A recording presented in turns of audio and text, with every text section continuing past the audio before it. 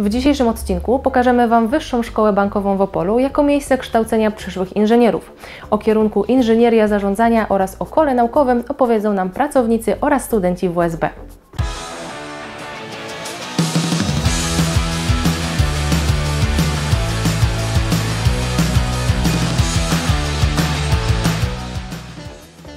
Dr Adam Busławski zaprasza nas na krótką wirtualną wycieczkę po hali produkcyjnej.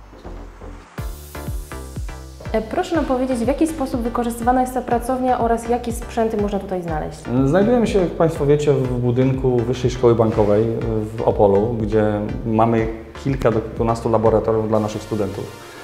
Aktualnie znajdujemy się w laboratorium wirtualizacji mm, na kierunku inżynieria zarządzania.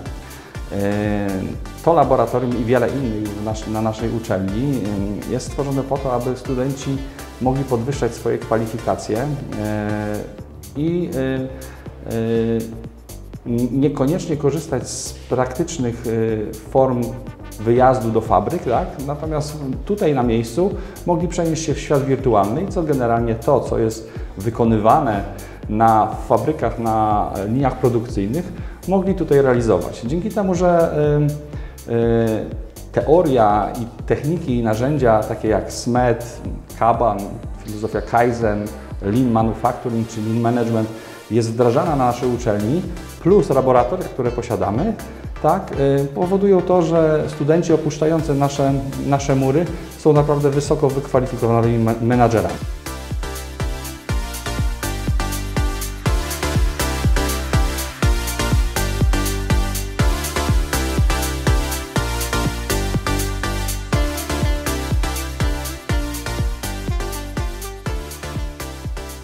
Na WSB oprócz laboratorium VR znajdują się też inne pracownie. Kierujemy się właśnie w stronę laboratorium druku 3D, o której więcej opowie nam studentka kierunku inżynierii zarządzania. Dzisiaj jesteśmy w dosyć interesującej sali, ponieważ e, mamy możliwość zobaczyć, e, w jaki sposób pracuje drukarka 3D. 3D e, dzisiaj w przemyśle jest stosowana właściwie e, we wszystkich firmach, e, które produkują. One mogą produkować dane elementy, mogą produkować e, jakieś zastępniki. Przede wszystkim też e, działa to na tej zasadzie, że jest jakiś projekt i lepiej wykorzystać właśnie drukarkę 3D, która e, przygotuje nam taki projektowy element, żeby sprawdzić, czy on rzeczywiście będzie pasował do całej e, maszyny, do całej konstrukcji. I to jest e, po pierwsze oszczędność e, czasu, jak i pieniędzy. Na kierunku inżynieria zarządzania mamy możliwość wykorzystywania najnowszych programów. Między innymi tutaj za mną widać efekt pracy Flexinie.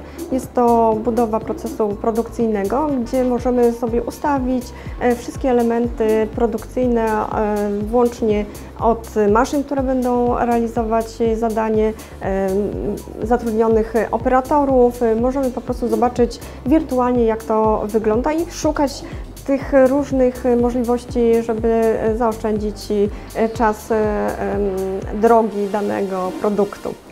Kierunek ten daje możliwości nie tylko e, mężczyznom, ale kobiety tutaj też chętnie przychodzą na ten kierunek. To nie jest dedykowane tylko i wyłącznie dla panów.